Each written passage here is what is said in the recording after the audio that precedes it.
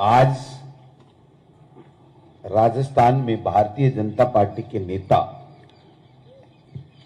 अपने आपस के वर्चस्व की लड़ाई में 20 लाख युवा बेरोजगारों के भविष्य के साथ खिलवाड़ कर रहे हैं। 20 लाख युवाओं के साथ। केवल और केवल आपस में मैं बड़ा कौन, मैं बड़ा कौन और अपने आला कमान को खुश करने के लिए किरोड़ी मीना जी और सतीश पूनिया जी। दोनों राजस्थान के युवाओं के हितों के साथ में कुठाराघात कर रहे हैं। पेपर लीक, पेपर चोरी पहली घटना नहीं है।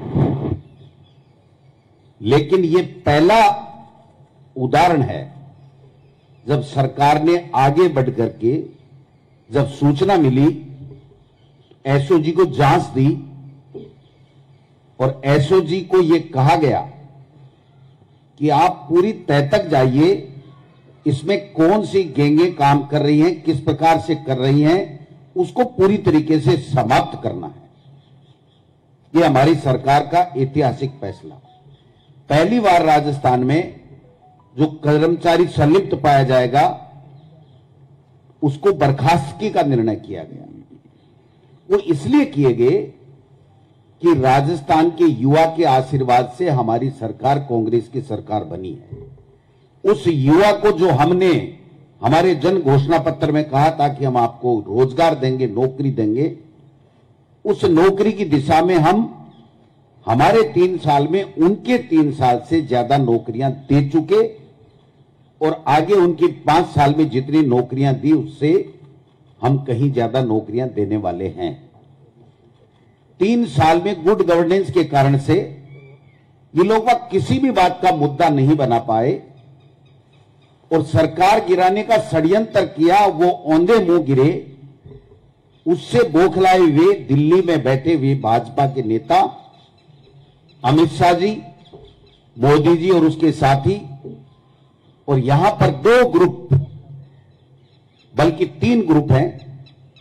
वसुंधरा राजे जी का ग्रुप, सतीश पूनिया प्रदेश अध्यक्ष है उनका ग्रुप, और किराड़ी मीना जी एकला चलो रे अपना ग्रुप। ये तीनों ग्रुपों ने अपनी वर्चस्व की लड़ाई में 20 लाख राजस्थान के युवाओं को सपनों को चकनाचूर करने का काम किया। उनको इंतज़ार करना चाहिए था एसओजी का, और मैंने पहले भी कहा था पीसीसी प्रेसिडेंट के नाते और तत्कालीन शिक्षा मंत्री के नाते, कि आप कोई भी क्ल्यू बताइए, कोई भी सूचना दीजिए, सरकार पूरी तरीके से जाँच करेगी। जब भजनलाल नहीं मिल रहा था तो एक डेढ़ महीने तक ये जाँच धीमी पड़ गई। मैंने माननीय मुख्यमंत्री जी को आकर के कहा, इसी लोन में हम बैठे थे। कि मुख्यमंत्री जी, युवाओं के कारण से हम लोग आए हैं। युवा ये महसूस करता है कि इस जाँच को पूरी तय तक ले जाना चाहिए। इन्होंने तुरंत टेलीफोन उठाया और अशोक राठौर जी को कहा कि यह जाँच आगे क्यों नहीं बढ़ रही है। उन्होंने कहा, भजनलाल बिश्नोई, हमें मिल नहीं रहा है, हम लगा रखे आदमी, जो ही मिल जाएगा, हम इसकी तय तक चले जाएँगे। इनको इंतज़ार करना चाहिए था और अगर एसओजी ये कहती कि बड़े लेवल के ऊपर हुआ है तो स्वतः ही सरकार निरस्त कर देती अगर एसओजी 100 जगह 200 जगह 300 जगह की कोई बात करती तो उसके बाद में उस तरीके से सरकार फैसला करती। लेकिन इनको तीन साल में एंटी कमेंसी पैदा नहीं कर पाए 25 में से 25 सांसद एक रुपया दिल्ली कोड़ी ला नहीं पाए, राजस्थान के विकास के लिए, इसलिए टारगेट करके सरकार बदनाम कैसे हो? मुख्यमंत्री बदनाम कैसे हो? गोविंद डोटासरा बदनाम कैसे हो? और दूसरे लोग बदनाम कैसे हो? यह षड्यंत्र किया गया। हमारे खिलाफ तो षड्यंत्र करो, बदनाम करो। अगर हम सच्चे हैं तो सच्चे रहेंगे। इनके बदनाम करने से हम में से कोई भी बदनाम होने वाला नहीं है। लेकिन इन्होंने आज पाप किया उन 20 लाख लोगों के भविष्य के साथ में। क्योंकि ये भर्ती भी मुख्यमंत्री जी ने इसलिए बढ़ाई है कि युवा जिसके कारण से हम सरकार से आए उनके भविष्य के साथ खिलवाड़ नहीं होना चाहिए और देश में आज बर्निंग इश्यू है। मोदी जी ने युवाओं को रोज़गार देने का जो वादा किया था, वो तो विफल हो गए, लेकिन हमने जो वादा किया है, उसमें हम खरे उतरे, जिससे युवाओं का सरकार के प्रति विश्वास जमा रहे। इसलिए आज ये जो फैसला किया गया है बासठ हज़ार की भर्ती होगी आगे चल करके। नियमों में संशोधन भी, इसलिए सोच समझ करके पार्टी की तरफ़ से भी हमने सुझाव दिया कि कांग्रेस का कार्यकर्ता और नेता माननीय मुख्यमंत्री जी ये चाहते हैं कि इसमें और पारदर्शिता लाई जाए, और कड़ा कानून बनाया जाए। उन्होंने कहा, राजस्थान की विधानसभा में कानून बनाएँगे, विपक्ष के भी सुझाव लेंगे। एक रिटायर्ड जस्टिस की अध्यक्षता में इन्होंने कमेटी भी बनाई है, उसके भी सुझाव लेंगे। और हम दो एग्ज़ाम इसलिए करवा रहे हैं कि 101 परसेंट पारदर्शिता रहे किसी तरीके क्योंकि एक एग्ज़ाम जब सिलेक्शन की हो जाती है तो फिर आदमी येन केन प्रकरण प्रयास करता है। और उसमें कहीं ना कहीं कोई चूक हो जाती है। ये पहली सरकार है, जब एसओजी ने यह बताया कि पेपर रखने में चूक हुई है। तत्काल बोर्ड के आधी रात को अध्यक्ष को बर्खास्त किया गया। इस्तीफा भी ले सकते थे, लेकिन नहीं। इसलिए कि हमारी नीयत में ईमानदारी, हमारे कणकण में ईमानदारी और हम युवाओं के साथ अन्याय नहीं कर सकते। उन्होंने अगर कोई प्रोसीजरल गलती की है, जिसको एक तरीके से जो ज़िम्मेदारी दी है वो सही तरीके से नहीं निभा पाए तो उसको बर्खास्त किया।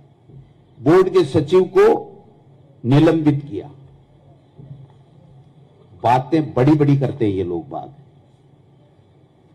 किस प्रकार से मुख्यमंत्री जी ने कहा, कहाँ से क्या तार जुड़े में, कैसे सूचनाएँ आ रही हैं, ये सब दूध का दूध पानी पानी होने वाला है, पानी का पानी हो जाएगा, चिंता करने की बात नहीं है।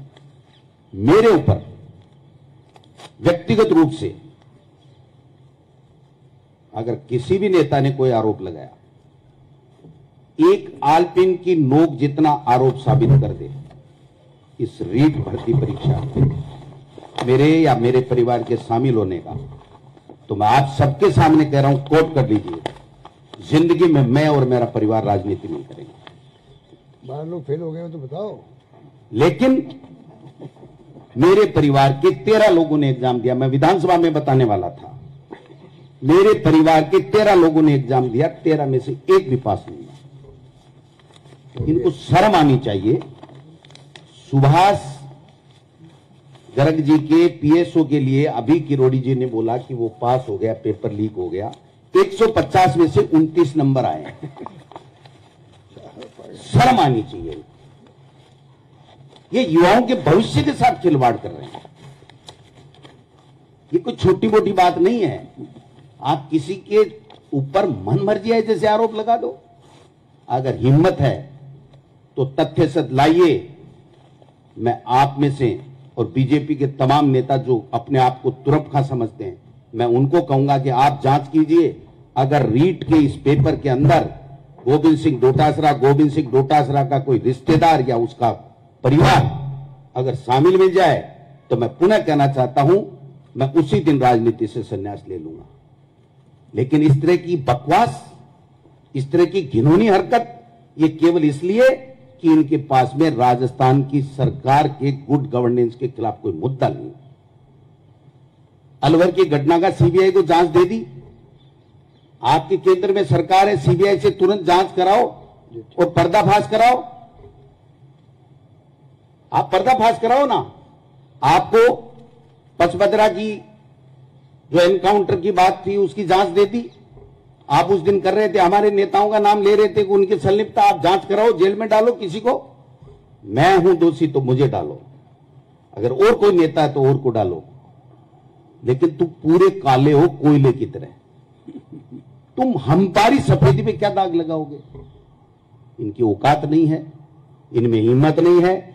उन्होंने केवल इतना काम कर दिया कि जिन युवाओं को हम महीने डेढ़ महीने में बत्तीस हज़ार युवाओं को नौकरी देना चाहते थे उसमें से आधे बच्चों को अब चार, छह, आठ महीने इंतज़ार करना पड़ेगा।